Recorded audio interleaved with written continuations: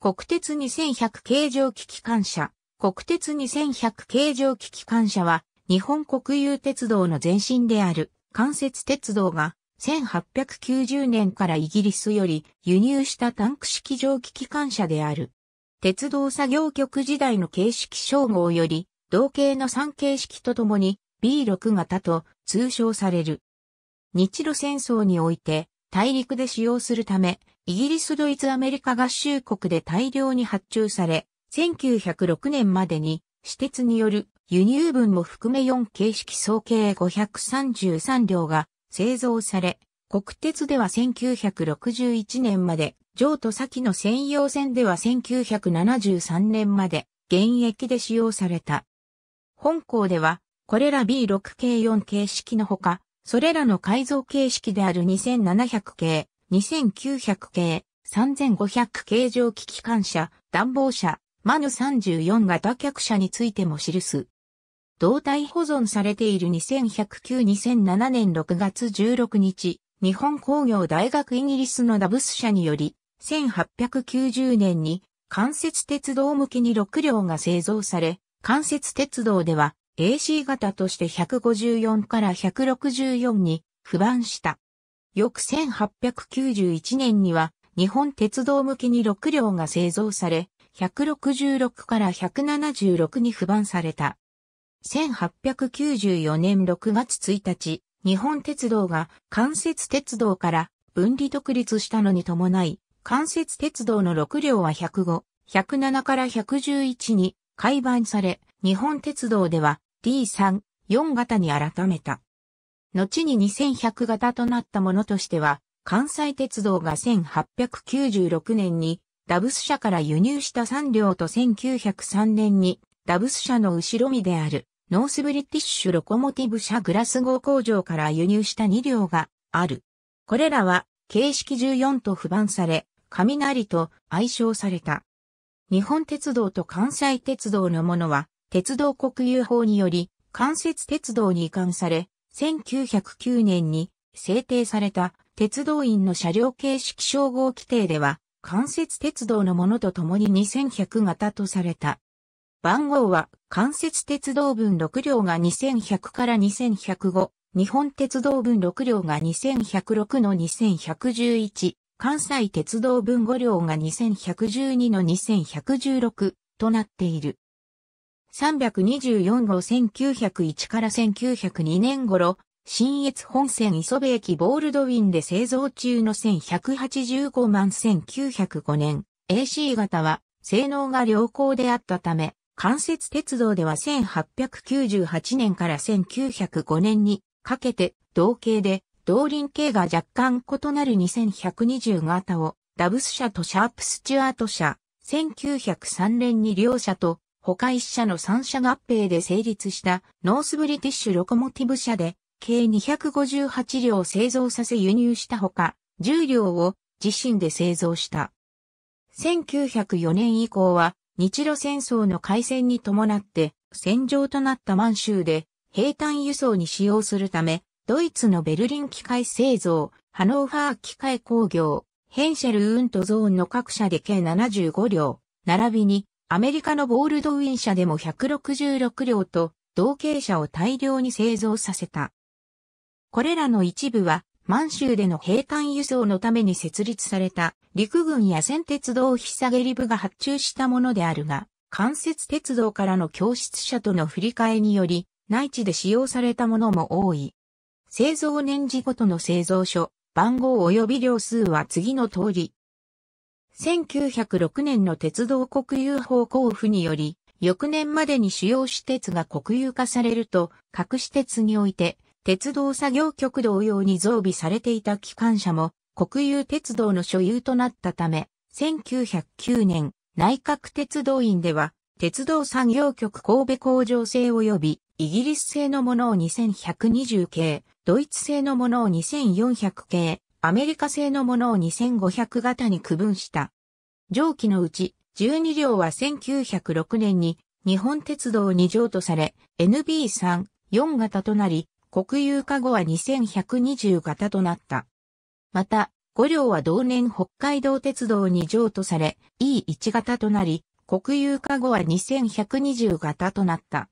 北海道鉄道では、この他に5両を自社発注し、譲渡機とともに E1 型としており、国有化後は2120型となった。関西鉄道では、1906年にボールドウィン社から運転台が密閉式で蒸気ドームの形状やオーバーハングの長さなど細部が異なる2両を自社で輸入し、形式14、雷に編入して105、106としており、国有化後は2500型となった。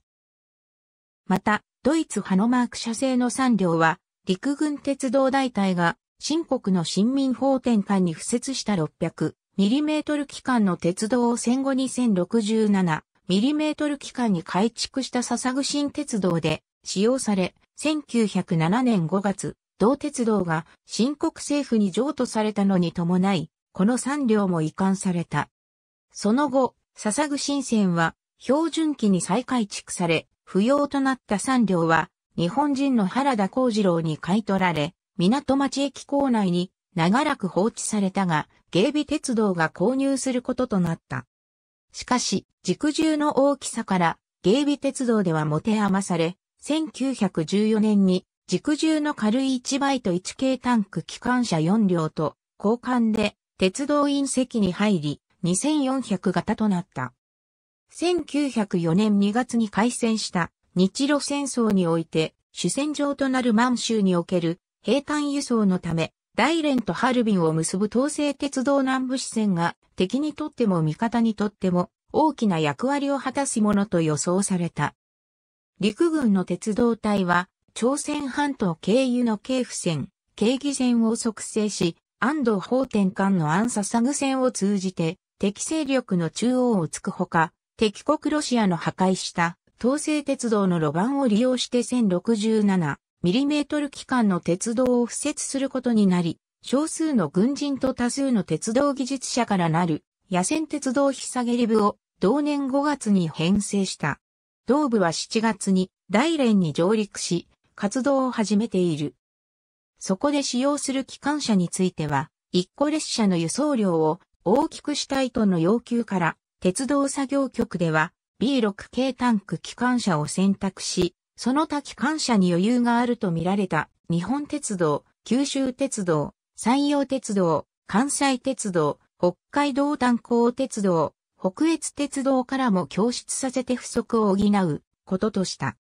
1905年3月末時点で、鉄道産業局64両、日本鉄道23両、九州鉄道15両、山陽鉄道4両、関西鉄道4両、北海道炭鉱鉄道3両、北越鉄道1両の計114両が陸軍への貸し渡しの形で供出されていた。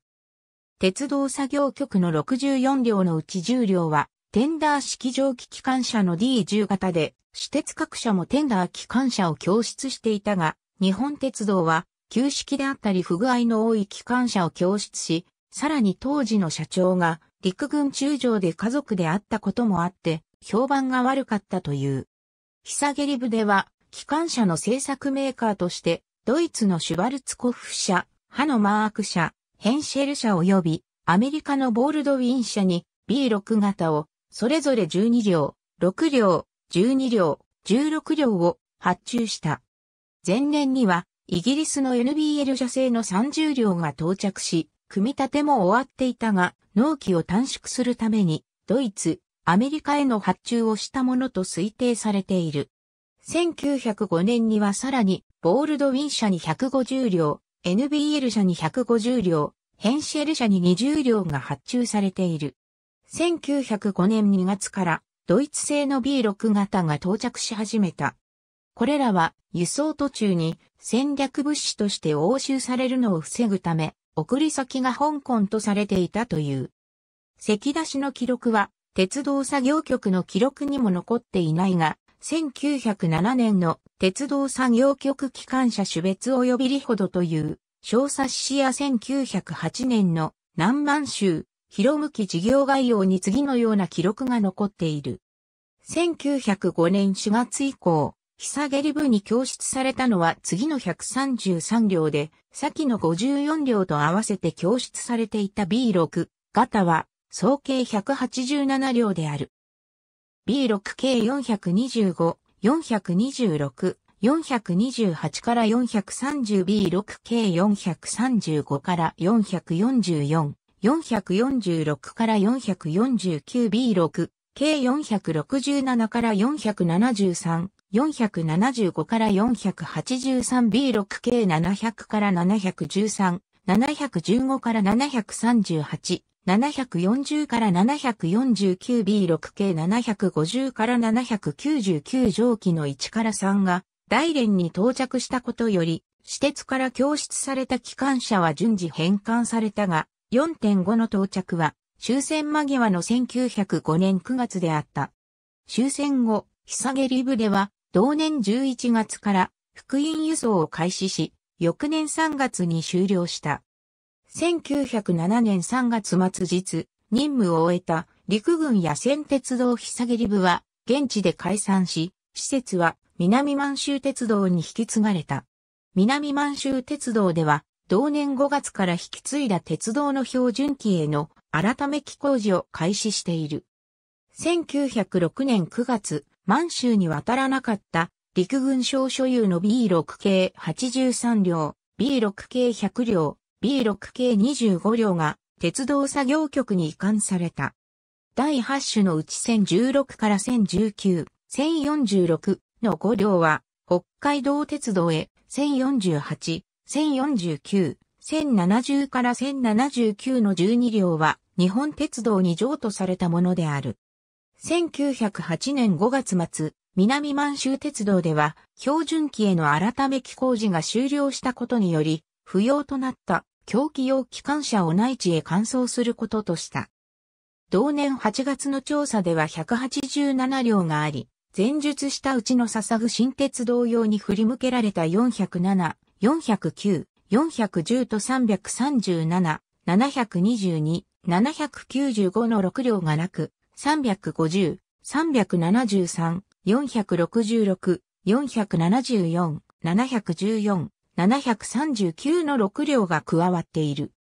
377、722、795の3両は何らかの理由ですでに完走され、後者の6両が代わって送られたものと思われる。内訳は第1種39両、第3種5両、第6種13両、第7種63両、第8種67両の計187両である。これらは1908年8月から1911年3月にかけて内地へ換装され、このうちイギリス製の第1種5両及びアメリカ製の第7種6両が台湾総督府鉄道に譲渡され、大連から直接台湾に送られている。これらを除いた176両が内地へ換装されたものである。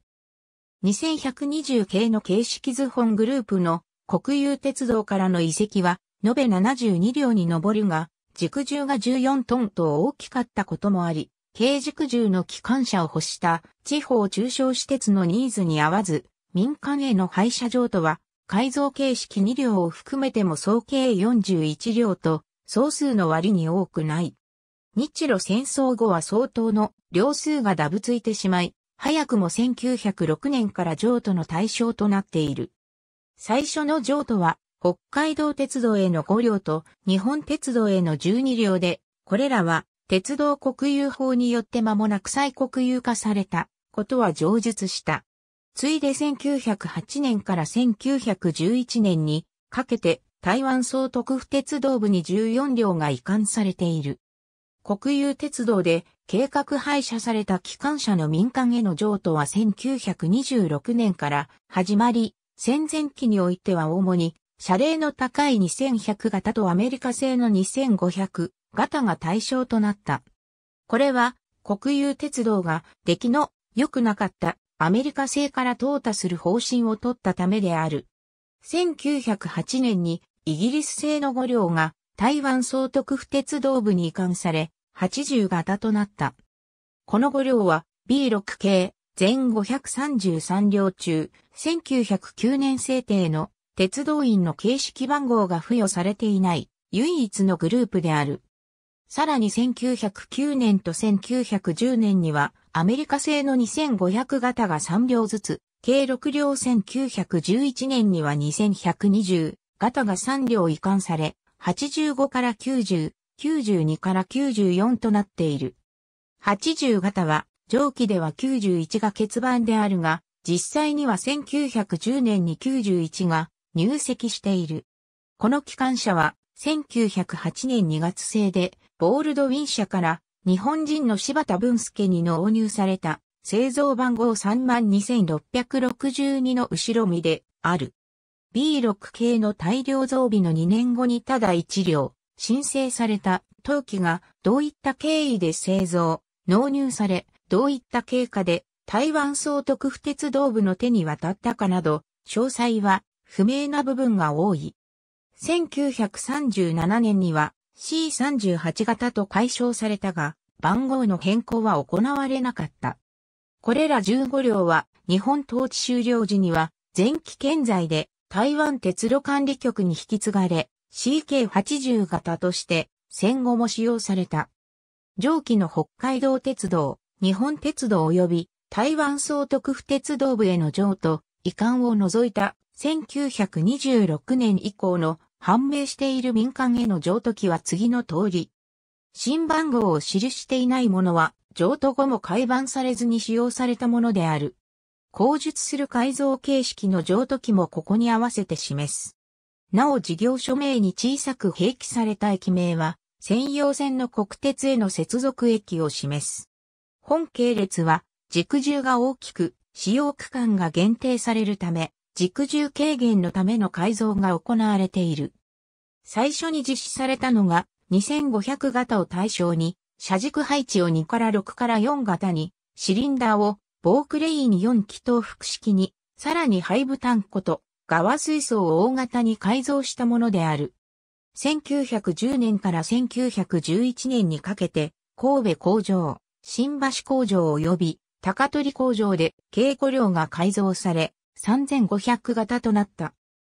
改造工場によって、形態は2種類あり、神戸工場及び高取工場製の3500、3503、3504は、排水槽とタンコの形状が、後の C11 系のような形状となり、運転室も密閉式に近いものとなったが、新橋工場製の3501、3502は、種車の原型をよく残していた。弁装置はスチーブンソン式のままであるが、研修の瓶を測って、弁室をシリンダー上部に移したアメリカ式としている。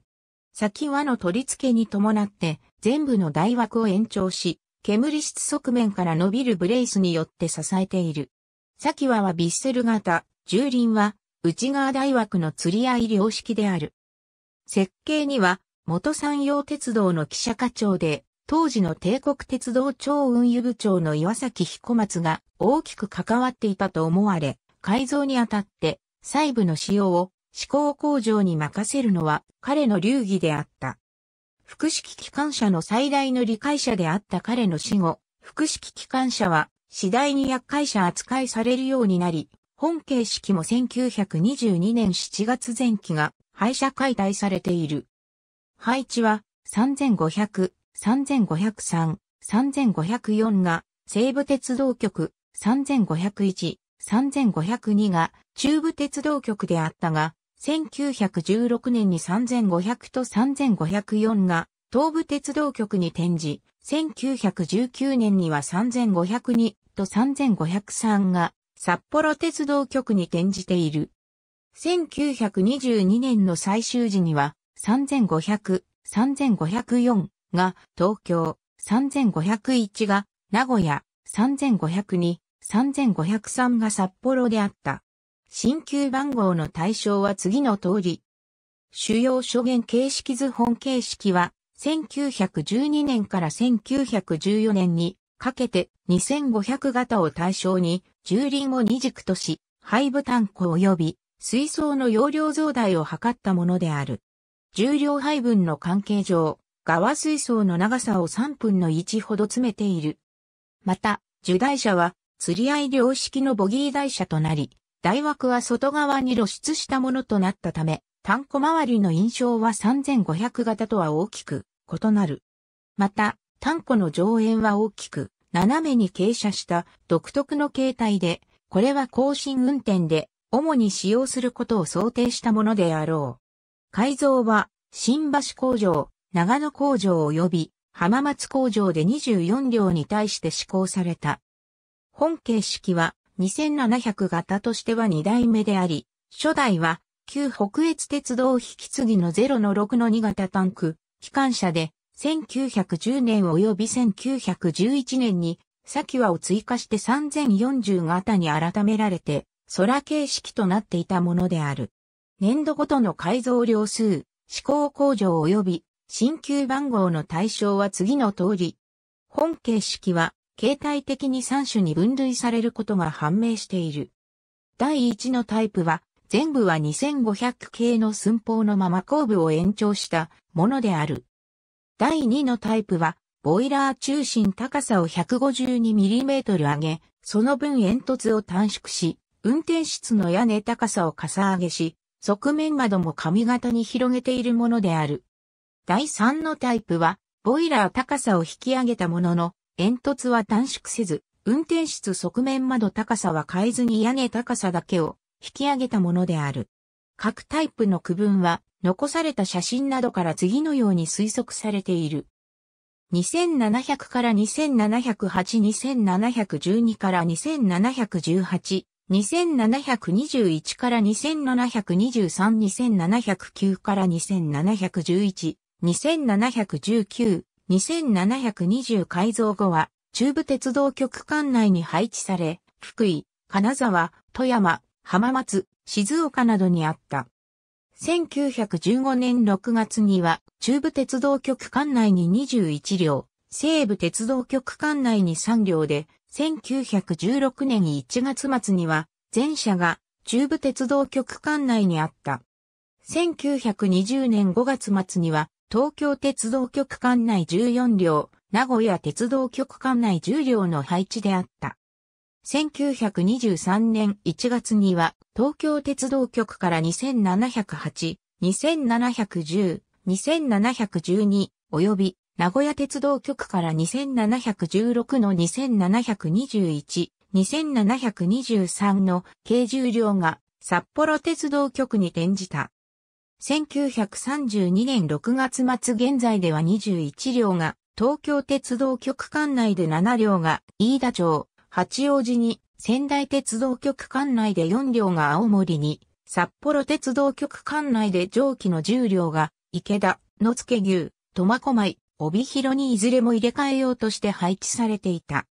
民間への譲渡は1950年にオス別対抗鉄道に譲渡された1両のみである。同期は、オス別対抗鉄道では234と改版されたが、1953年に三井鉱山美媒工業所に移って3となり、さらに北海道炭鉱汽船幌内工業所、ミルト鉱専用鉄道に移って2719に戻り、1960年まで使用された。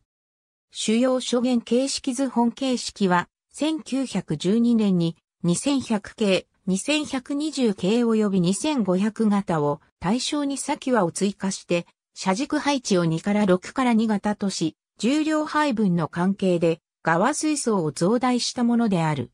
また、弁装置はスチーブンソン式のままであるが、弁室をシリンダー上部に移してアメリカ型としており、研修の瓶を測っている。先ははビッセル式で前端針は加湿部からブレースで指示している。改造は、四日市工場及び高取工場で17両に対して施行された。この中には、旧関西鉄道から引き継いだ全車が含まれている。特に、アメリカ製の2666、2667を改造したものは、種車の特徴的な外観を残しており、改造に際しても、側水槽の延長部の下側を書き取った形態となってさらにユニークさが増している。新旧番号の対象は次の通り。改造後は西武鉄道局に配置され、山陽本線西部で使用された。その後、2900から2905、2910から2916は、文字鉄道局、2906から2909は、名古屋鉄道局に転じ、さらに、名古屋鉄道局の分は、1926年に、岡山、長岡、盛岡の各建設事務所に転じた。そのうち、2907は、信濃川電気事務所に転じて、1956年まで使用されていたのが実験されている。文字鉄道局のものは、1920年代には、広島、三田尻、下関にあって、ローカル貨物や混合列車の牽引に使用されていた。営業用としては1935年までに廃止され、あとは建設事務所に残るのみとなった。1944年現在では、後日の栽培収車を含めて3両が残るのみとなっていた。本形式からは、1934年に2916が小倉鉄道に譲渡されたが、1944年に戦時買収により再国有化、1948年に廃車解体された。主要諸言1915年には2633の煙室を改造して、そこに蒸気乾燥機を取り付ける改造が行われている。その結果、同期の煙室は、径や長さの大きいものに改造され、その結果ボイラー中心高さを 86mm 上げ、煙室を支えるため、先輪が一軸追加され軸配置が2から6から2となった。当時の配置は高崎であったが、試験終了後は原型に復元された。1917年には当時議論されていた後期化構想に基づき、機関車を後期化改造する際に必要な材料、工数、費用を調べるため、本形式1両が浜松工場で後期化された。同期は同年5月23日から8月5日まで横浜線原町電橋本間を通常の列車と後期改造車の双方が走行できるように参戦。4線式にして、同様に後期化された6輪ボギー車、4輪ボギー車、4輪、単車、貨車3両を牽引する試験を行った。この後期化改造に伴い微光子面積の拡大を行ったことで、牽引能力は増大し、石炭消費量においても優秀な成績を示した。しかし、後期化構想は1919年に頓挫し、後期化改造されていた2323もしばらく大井工場に保管されたが、間もなく廃車されたまで使用されたとする説もあり、日本の改め機論争も参照のこと。マヌ34型暖房車1958年5月1日、前原機関区1949年、東海道本線、沼津浜松間や大本線、福島米沢間が新規に電化されたが、当時日本を占領していた GHQ が暖房車の申請を認めなかったため、不足する暖房車を既存車の資材を流用して2120系の改造名義で製作したのがマヌ34型である。同形式は第一種級車中であった2120系のボイラー、戦時系貨車として大量に製造されたが三軸車、ゆえの走行性能の悪さから大量に余剰となっていた時900系無害車の大枠や連結機をそれぞれ流用、さらに木造客車の交代化改造の際に大枠の継ぎ足し用となった客車から発生した TR11 系台車の車軸を時900系の単軸系車軸に換装して TR44 型台車とし、これらを組み合わせて製作された。最も大型な暖房車であったことから、運用は長距離旅客列車が中心であった。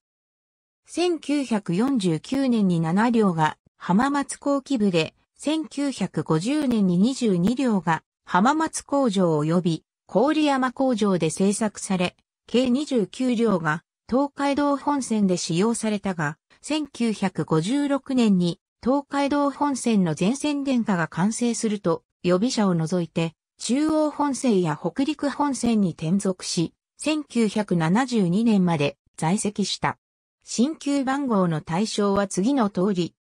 本グループは SL ブームが到来する前にほとんどが廃車されたことから、保存機は少ないが、主要4形式が一通り残されている。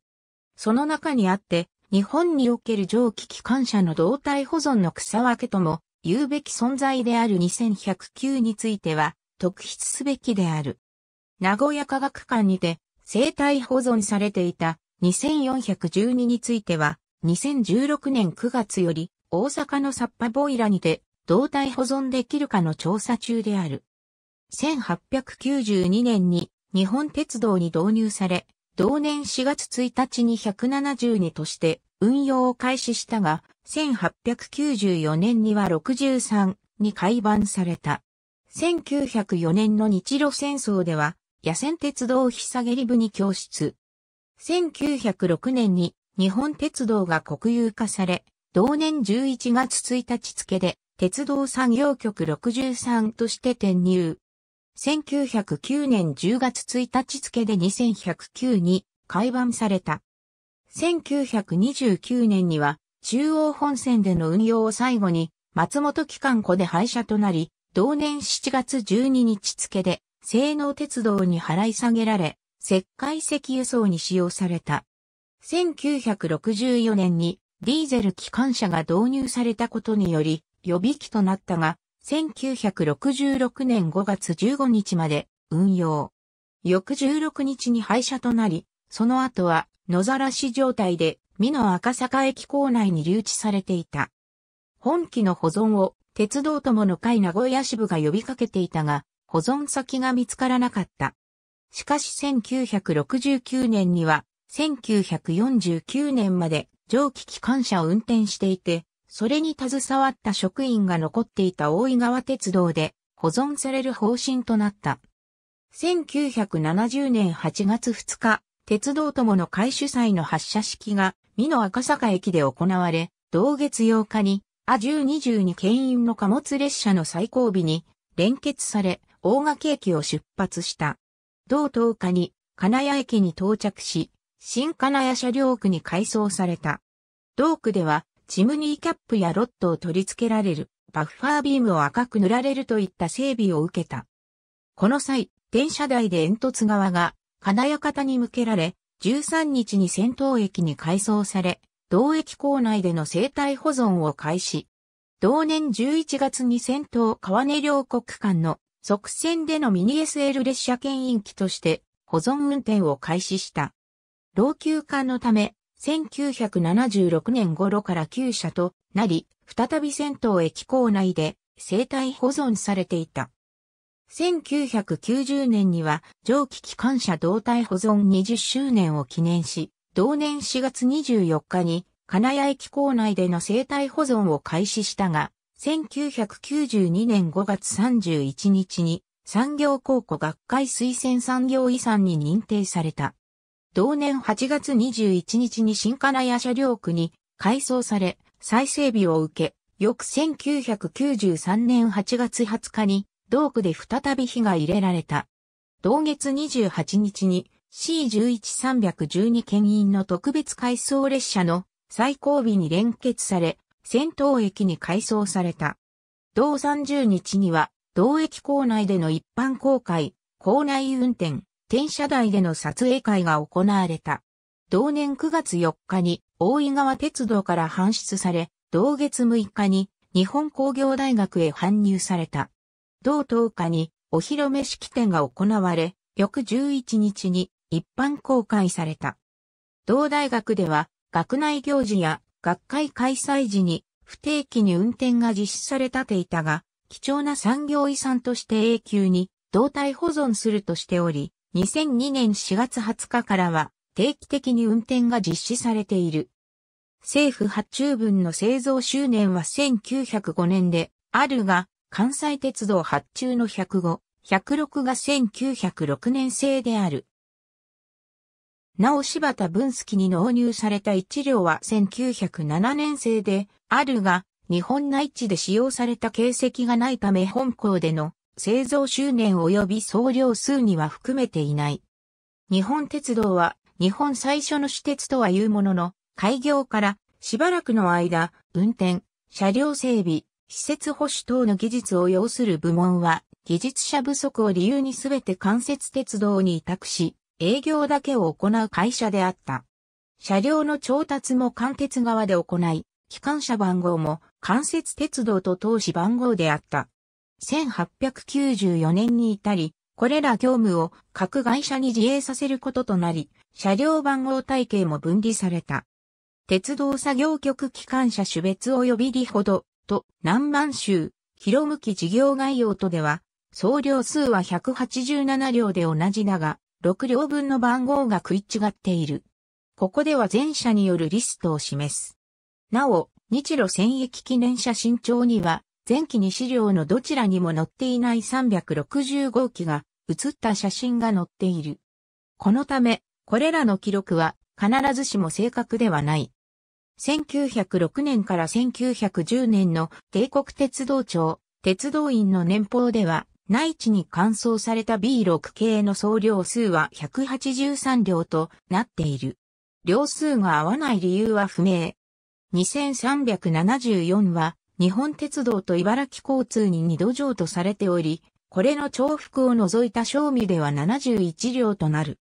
2370日東紡績、2361、昭和電工などの未確認情報がある B6 開古6私鉄、専用鉄道、専用線編3ページ2374は1942年より、柏田市ですでに茨城鉄道に入線している。地方鉄道及び軌道一覧、昭和18年4月1日現在、吉村信夫、僕のなこそ物語、トレインナンバーワン782630というのは書類上の名目で、実車は水戸機関区で廃車となった2541であったらしい。地方鉄道及び軌道一覧、昭和18年4月1日現在、地方鉄道及び軌道一覧、昭和18年4月1日現在以上が通説で、あるが、試験実施期間、試運転区間、成績等の記録が残っていない上、改造があったとしても試験後の復元によって原型となっていることから計画されたのみで、実際の改造は行われなかったのでないかとする説もある。P103-3428 鉄道を飛び出す名古屋 SL 製地下計画の一環として河村隆市長が同館での復活運転を考案している。現在は大阪のサッパボイラにて動体保存できるかの調査をしている。1968年、引退直前の姿が NHK 総合テレビジョンのある人生でさよなら B-6 として放映された。ありがとうございます。